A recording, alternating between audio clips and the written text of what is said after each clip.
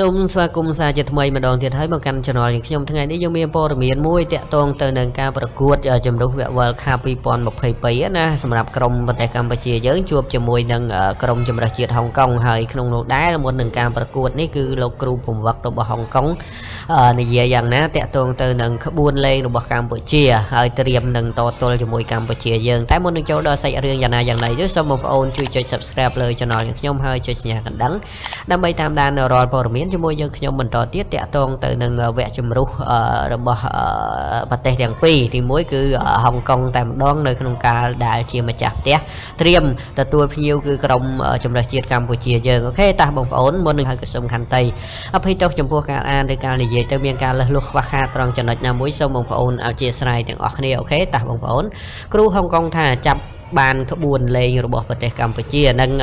ត្រៀមជាស្រេចយក3បន្ទុកសម្រាប់ក្នុងការប្រកួតជុំទី2ជាមួយនឹងក្រុមកម្ពុជា គឺលោកគ្រូបង្វឹករបស់ក្រុមហុងកុងបានបញ្ជាក់ថាត្រៀមខ្លួនជាស្រេចសម្រាប់ការប្រកួតទល់នឹងក្រុមកម្ពុជានៅម៉ោង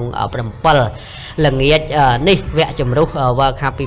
2022អូខេក៏ដូចជាជំនួបលើកទី2នៅក្នុងការបដូរទឹកដីណាកម្ពុជាប៉ះក្រុមហុងកុងនេះម្ដងមកហើយនៅស្តាតអូឡ িম্প ិកនៅទឹកដីកម្ពុជាដោយក្នុងនោះមួយស្មើ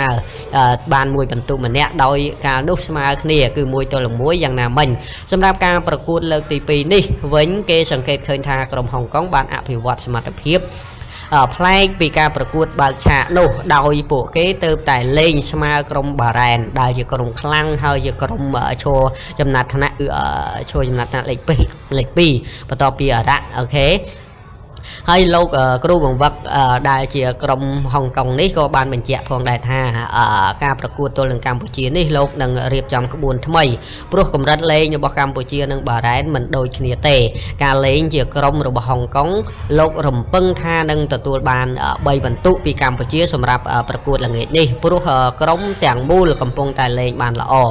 លោកមើលឃើញច្បាស់ពីក្បួនលេងរបស់កម្ពុជាហើយក្រុមហុងកុងបច្ចុប្បន្នក៏ល្អខ្លាំងជាងការប៉ះគ្នាលើកទី1គឺក៏ដូចជាលើកដំបូងផងដែរមានន័យថាក្រុមហុងកុងកំពុងតែអភិវឌ្ឍតាក់ទងទៅការប្រកួតដូចកន្លងទៅបងប្អូនប្រហែលជាចាប់អារម្មណ៍ហើយក្នុងការប្រកួតជាមួយនឹងក្រុមបារ៉ែនគឺបានន័យថាទប់ស្មើណាអញ្ចឹងកម្ពុជាគឺរបូតក្របមួយជាមួយក្រុមបារ៉ែនចំណែកឯជាមួយក្រុមរ៉ង់វិញគឺកម្ពុជាលើងរហូតទៅដល់14ក្របចំណែកក្រុមហុងកុងវិញគឺទប់ក្រុមរ៉ង់ទៅបានត្រឹមតែ2ក្របប៉ុណ្ណោះអញ្ចឹងបានន័យថាក្រុមហុងកុងនេះគឺមិនធម្មតាទេក្នុងការអភិវឌ្ឍប្រមាណប្រកួតចុងក្រោយហើយយើងបើទៅធនធានកីឡាកររបស់គេគឺ មានន័យថាល្អល្អដែរកម្ពស់ហើយសិតតែកូនកាត់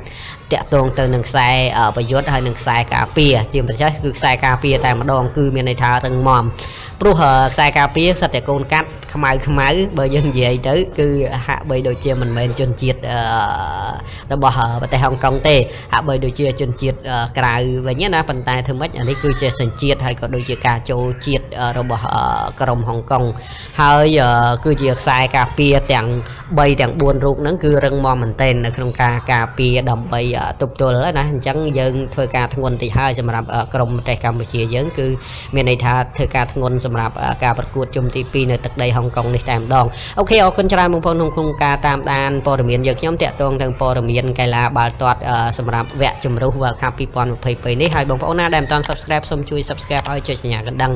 ដើម្បីតាមដានរាល់ព័ត៌មានជាមួយយើងខ្ញុំបន្តទៀតហើយបងប្អូនណាដែលបាន Subscribe ហើយអរគុណច្រើនសម្រាប់ការ Subscribe បងប្អូនណាណាហើយក៏សូមខន្តីអភ័យទោសម្ដងទៀតចំពោះការនិយាយការអានទៅមានការលើសលស់ខ្វះខាតត្រង់ចំណុចណាសូមបងប្អូនអធ្យាស្រ័យទាំងអស់គ្នាណា OK OK បងប្អូនអរគុណច្រើន Subscribe កុំភ្លេចណា OK bye bye